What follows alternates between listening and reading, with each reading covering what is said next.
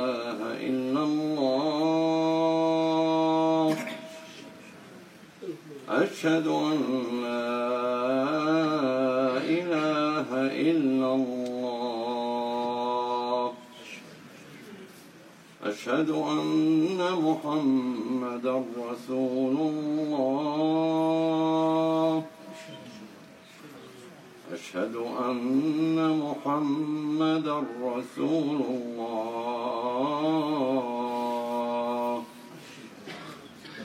حي على الصلاة.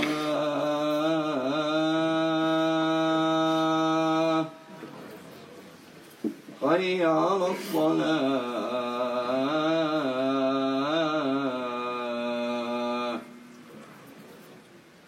حي على الفلاح.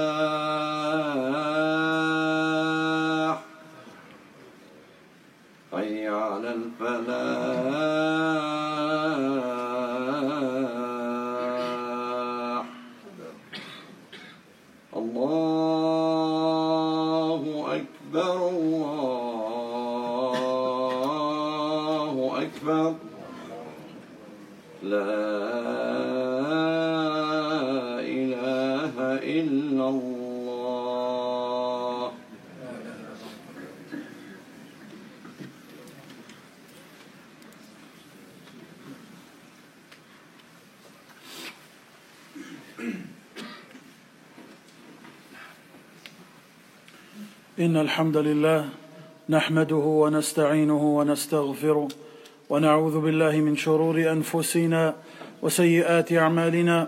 من يهده الله فلا مضل له ومن يضلل فلا هادي له. وأشهد أن لا إله إلا الله وحده لا شريك له وأشهد أن محمدا عبده ورسوله. يا أيها الذين آمنوا اتقوا الله حق تقاته ولا تموتن إلا وأنتم مسلمون. يا أيها الناس اتقوا ربكم الذي خلقكم من نفس واحدة وخلق منها زوجها وبث منهما رجالا كثيرا ونساء. واتقوا الله الذي تساءلون به والأرحام. إن الله كان عليكم رقيبا. يا أيها الذين آمنوا اتقوا الله اتقوا الله وقولوا قولا سديدا. يصلح لكم أعمالكم ويغفر لكم ذنوبكم. ومن يطع الله ورسوله فقد فاز فوزا عظيما.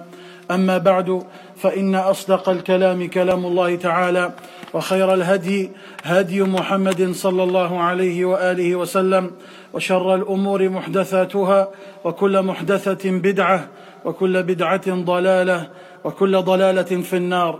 أما بعد أيها الموحدون عباد الله اتقوا الله تبارك وتعالى واعلموا أن الله تبارك وتعالى أكمل برسالة محمد صلى الله عليه وآله وسلم الدين أتم به النعمة على المؤمنين فبلغ أمته البلاغ الأمين واختاره لجواره في دار كرامته فنقله من هذه الدار إلى الدار الآخرة التي هي خير له وأولى. قال الله تبارك وتعالى وللآخرة خير لك من الأولى ولسوف يعطيك ربك فترضى. عباد الله في هذا الشهر العظيم شهر ربيع الأول وفي الثاني عشر من هذا الشهر المبارك وفي يوم الاثنين أصيبت الأمة الإسلامية بأعظم مصيبة. أصيبت الأمة الإسلامية بأعظم مصيبة وهي وفاة رسول الله صلى الله عليه وآله وسلم. ولقد قدم الله تبارك وتعالى بين يدي وفاته عليه الصلاة والسلام آيات تدل على قرب مماته. فمنها قوله سبحانه وتعالى اليوم اكملت لكم دينكم واتممت عليكم نعمتي ورضيت لكم الاسلام دينا we mentioned that Allah subhanahu wa ta'ala when he sent his messenger sallallahu alayhi wa sallam he fulfilled and completed the message and he completed his favor upon the believers And then Allah subhanahu wa ta'ala chose for him sallallahu alayhi wasallam to be near him. To remove him from this worldly life to the life of the hereafter. Allah subhanahu wa ta'ala says what means and what translates. And indeed, the hereafter is better for you than the present life of this world. And verily, your Lord will give you all goods so that you shall be well pleased. In this month, the month of Rabi' al-Awwal, the 12th day, the day of Monday, 11 years after he migrated, sallallahu alayhi wasallam, the greatest of tragedies struck this ummah. That is the death of the Messenger sallallahu alayhi wasallam. And Allah subhanahu wa ta'ala gave us signs to show that the, the departure of the Messenger sallallahu alayhi wasallam is near. He says, subhanahu wa ta'ala, in his book, This day I have perfected your religion. For you completed my favor upon you and have chosen for you Islam as your religion. That is one of the first signs to show that the departure of the Messenger صلى الله عليه وسلم is near and close. هذه الآية المباركة نزلت عليه صلى الله عليه وسلم يوم الجمعة في يوم عرفة في حجة الوداع. ومن ذلك توديعه صلى الله عليه وآله وسلم للناس وهو في عرفة. قال لهم لعلي لا ألقاكم بعد عامي هذا. ومنها أيضا من هذه العلامات أن جبريل عليه السلام كان يعارض النبي صلى الله عليه وآله وسلم القرآن في رمضان في كل عام مرة. أما العام الذي قبض فيه فعارضه مرتين. قال صلى الله عليه وآله وسلم ما أرى ذلك إلا اقتراب أجلي. يعني ما أظن هذا إلا لأن أجلي قد دنا. وكان النبي صلى الله عليه وآله وسلم يعتكف في كل رمضان عشرة أيام. أما العام الذي قبض فيه فإنه صلى الله عليه وآله وسلم اعتكف عشرين يوما كما جاء في الآثار The ayah that we recited in Surah Al-Ma'idah, Allah subhanahu wa ta'ala revealed it to His Messenger sallallahu alayhi wa sallam on the day of Friday. On the day of Arafah, the only pilgrimage. And during Hajjat al-Wada' He said sallallahu alayhi wa sallam to the people, addressing them, I may not meet you next year. As if he wasallam was making his farewells to his, to his people and to his nation. Also, the Prophet salatu would revise in Ramadan the whole Quran with Jibreel once. But the year he died and passed away wasallam, he revised the Quran twice with Jibreel. Also the Messenger wasallam used to make i'tikaf in each Ramadan, every year 10 nights. As for the year he passed away, the last Ramadan he fasted, he made اعتكاف 20 days. ولما رجع النبي صلى الله عليه وآله وسلم من حجة الوداع مكث في المدينة النبوية بقية شهر ذي الحجة والمحرم وصفر. قال ابن رجب رحمه الله تعالى وكان ابتداء مرضه في أواخر شهر صفر وكان مدة مرضه ثلاثة عشر يوما في المشهور. انتهى كلامه رحمه الله. وذلك أنه خرج إلى البقيع مقبرة أهل المدينة فاستغفر لهم كالمودع لهم ثم رجع إلى أهله. وفي صحيح البخاري أن عائشة رضي الله تعالى عنها قالت فوجدني أجد صداعا في رأسي وأقول ورأساه فقال صلى الله عليه وآله وسلم بل أنا والله يا عائشة ورأساه After he finished the Hajj and the, uh, and, and the final pilgrimage, he went back to Medina, stayed the rest of the month of the Hijjah, the month of Muharram, the month of Safar. We mentioned the statement of Ibn Rajab, rahimahullah. He says that the beginning of his final illness was towards the end of the month of Safar. And he stayed ill, sallallahu alayhi wasallam, for 13 days. He said this is the majority opinion, the majority opinion of the scholars. And we said that he, sallallahu alayhi wasallam, went to Al-Baqi', the graveyard of Ahl al-Madinah, and he made dua and sought forgiveness for them as if he is giving them his farewells. And then he went back to his, his family. In Sahih al-Bukhari, Aisha radiallahu anha, she said, he entered upon me and he saw that I had a migraine headache and saying, oh my head. He said to her, sallallahu alayhi wasallam, indeed it is me, ya Aisha, wallahi, that my head hurts. I am the one who has the migraine headache. أيها الموحدون.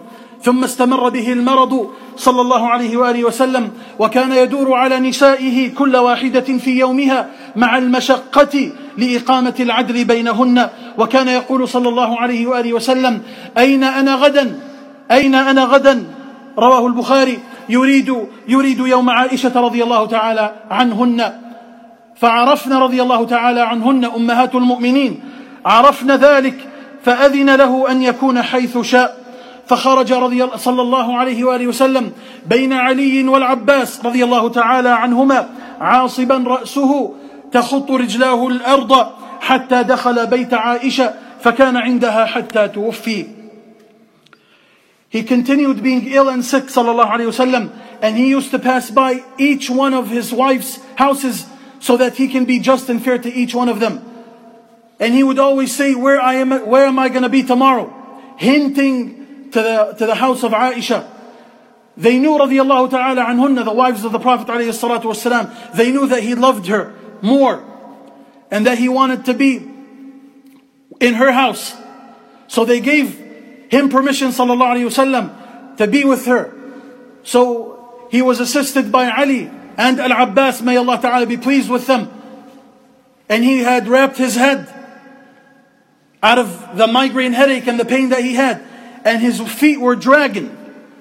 He had Ali and Al-Abbas from each shoulder. His feet were dragging in the, in the ground until he reached the house of Aisha. And he stayed there until he passed away صلى الله عليه وآله وسلم. ولما كان ذات يوم أمرهم أن يصبوا عليه من سبع قرب لينشط على الخروج إلى الناس فخرج عاصبا رأسه فجلس على المنبر فحمد الله وأثنى عليه وذكر أهل أحد فاستغفر لهم ودعا لهم وقال يا أيها الناس يا أيها الناس إن عبدا من عباد الله خيره الله من أن يعيش بين أن يعيش في الدنيا ما شاء الله أن يعيش وبين أن يلقى ربه فاختار لقاء ربه ففهمها أبو بكر رضي الله تعالى عنه فبكى وقال بل نحن بل نحن نفديك بأنفسنا وأبنائنا وأموالنا فقال النبي صلى الله عليه وآله وسلم على رسلك يا أبا بكر على رسلك يا أبا بكر.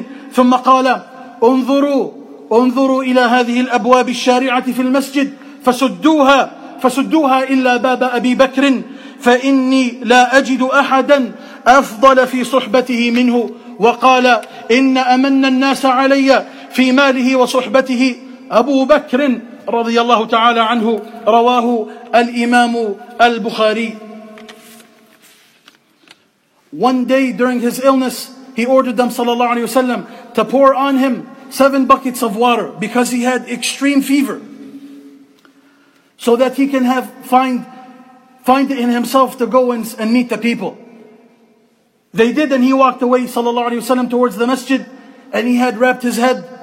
He sat on the minbar, praised Allah subhanahu wa ta'ala and thanked him and then reminded the people of the people of Uhud, the martyrs of Uhud and he made dua for them. And then he said, O people, Allah subhanahu wa ta'ala has given an ultimatum to one of his servants to live in this dunya as much as Allah subhanahu wa ta'ala wills or to be with him. And that servant has chosen to be with Allah subhanahu wa ta'ala. Abu Bakr radiallahu anhu understood exactly what that meant. And he started weeping. He said, O Messenger of Allah, we sacrifice ourselves, our children, our wealth for you. He said to him, sallallahu alayhi wasallam, be patient, Abu Bakr. And then he said to the people, You see all these doors, these entrances to the masjid from the houses of the people, the neighbors of the masjid, close all of them except the, the entrance and the door from the house of Abu Bakr as-Siddiq.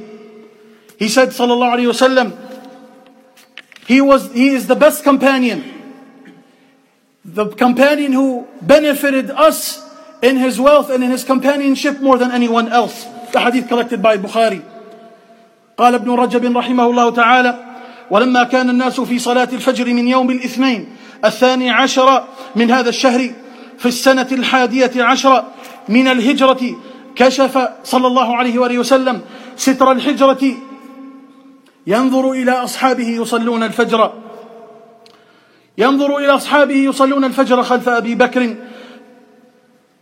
كأن وجهه ورقة المصحف فأشار إليهم أن مكانكم ثم أرخى الستر وتوفي صلى الله عليه وآله وسلم من ذلك اليوم انتهى كلامه رحمه الله Ibn Rajab rahimahullah ta'ala says the day of Monday, the day of Monday after Salat al-Fajr, the 12th day of the year, the 11th year, the Prophet sallallahu alaihi wasallam was in his room.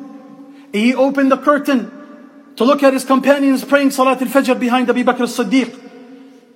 His face was bright like the cover or the page of, from a mushaf. When his companions saw him, they rushed, they wanted to, they wanted to come and, and, and greet him. He, sallallahu alayhi wasallam, signaled to them to stay where they were. And that was, and then he closed the curtain.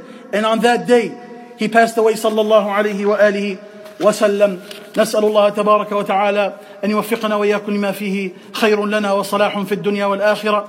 أقول ما سمعتم وأستغفر الله لي ولكم فاستغفروه. إن ربي غفور رحيم.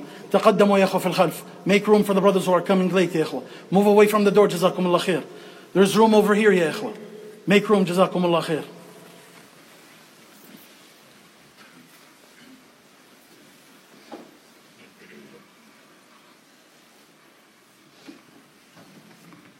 الحمد لله رب العالمين. الرحمن الرحيم مالك يوم الدين. وأشهد أن لا إله إلا الله وحده لا شريك له. وأشهد أن محمدا عبده ورسوله. أما بعد فلما حضرت الوفاة رسول الله صلى الله عليه وآله وسلم كان بجنبه قدح فيه ماء يضع يده في القدح ثم يمسح يمسح وجهه بالماء ويقول لا إله إلا الله. إن للموت سكرات. اللهم أعني على سكرات الموت. وكانت له خميصة يطرحها على وجهه. فإذا اغتم بها كشفها. فقال وهو كذلك لعنة الله على اليهود والنصارى. اتخذوا قبور أنبيائهم مساجد يحذر مما صنعوا. وكان آخر ما أوصى به صلى الله عليه وآله وسلم الصلاة الصلاة. وما ملكت ايمانكم when he was on his deathbed sallallahu alaihi wasallam he had a pot or a pot, a pot or a tumbler next to him that had water in it he would dip his hand in it and then wipe his face with it from the fever that he had.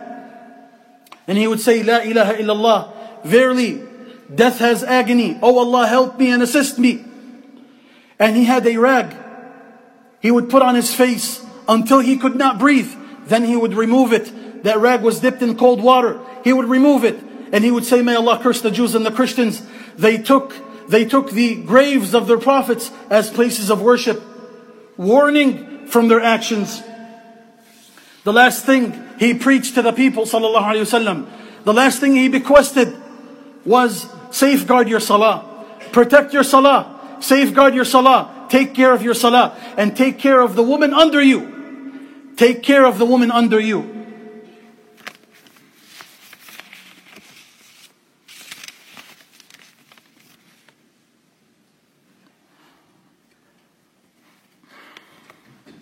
دخل عليه عبد الرحمن بن ابي بكر الصديق رضي الله تعالى عنهما ومعه سواك يستن به وعائشه مسندة إليه مسندته إلى صدرها فجعل النبي صلى الله عليه وآله وسلم ينظر إليه فعرفت أنه يحب السواك فقالت آخذه لك فأشار برأسه النعم فأخذته وقضمته ولينته ثم دفعته إلى رسول الله صلى الله عليه وسلم فاستنه قالت فما رأيت النبي صلى الله عليه وآله وسلم استنى استنانا أحسن منه ثم رفع إصبعه وجعل يقول في الرفيق الأعلى في الرفيق الأعلى حتى قبض ومالت يده. رواه الإمام البخاري.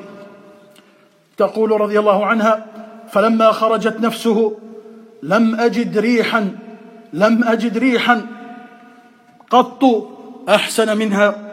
قال قال أنس رضي الله عنه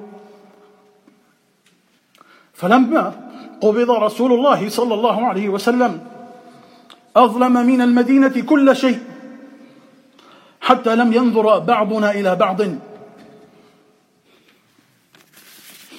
وقال أبو الجوزاء رضي الله عنه ورحمه كان الرجل من أهل المدينة.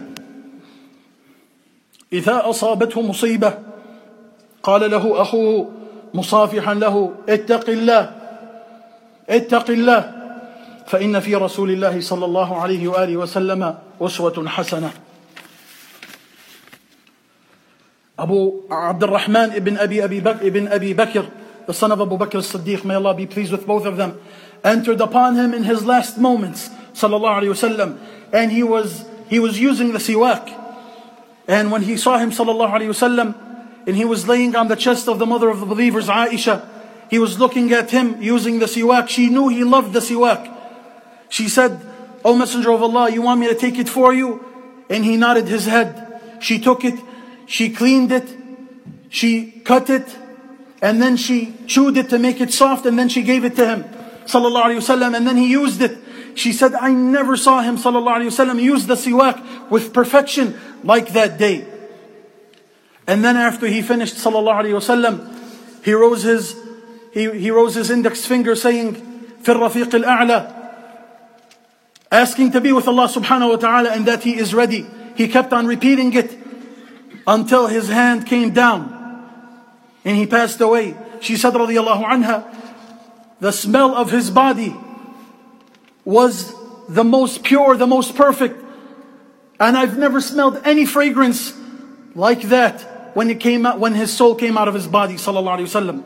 Anas radiallahu anhu said, when he passed away, sallallahu alayhi wasallam, as if the whole Medina had become dark. So much so that one of us could not even greet his brother. We were so shocked. And Abu al-Jawza, rahimahullah ta'ala, he said, if we saw a brother with a calamity, we would shake his hand and tell him, fear Allah. Remember the death of the Messenger sallallahu alayhi wa alihi wa sallam. نسأل الله تبارك وتعالى أن يوفقنا جميعا لما يحبه ويرضاه رسولنا صلى الله عليه وسلم ترك لنا سنته ترك لنا آثاره نقتدي بها نتمسك بها نلزم طريقه صلى الله عليه وسلم حتى حتى نكون معه حتى نكون معه صلى الله عليه وسلم. نلقاه في الحوض على العرصات ونرافقه في الجنة. نمكث ونثبت ونستقيم على هديه وعلى طريقته. تركت فيكم شيئين لن تضلا ما إن تمسكتم بهما كتاب الله وسنتي. It is crucial to remember that the Prophet ﷺ left us with his teachings, his traditions, his sunnah. And the way to be successful in this life as well as in the hereafter, to follow his footsteps strictly, so that you meet him ﷺ in the hereafter, while he is pleased with you, being firm, being steadfast, being strict upon his teachings, and his traditions. نسأل الله تبارك وتعالى لنا ولكم الصلاح والتوفيق والهداية. إنه ولي ذلك والقادر عليه. اللهم اغفر للمسلمين والمسلمات وللمؤمنين والمؤمنات. الأحياء منهم والأموات. إنك قريب سميع مجيب الدعوات. اللهم إنا نسألك بأسمائك الحسنى وصفاتك العلى. أن تثبتنا جميعا على التوحيد والسنة حتى نلقاك. اللهم يا ربنا كن لإخواننا المستضعفين الموحدين في كل مكان. اللهم ارحم موتاهم وداوي جرحاهم. وكن وكن لهم ناصرا ومعيدا.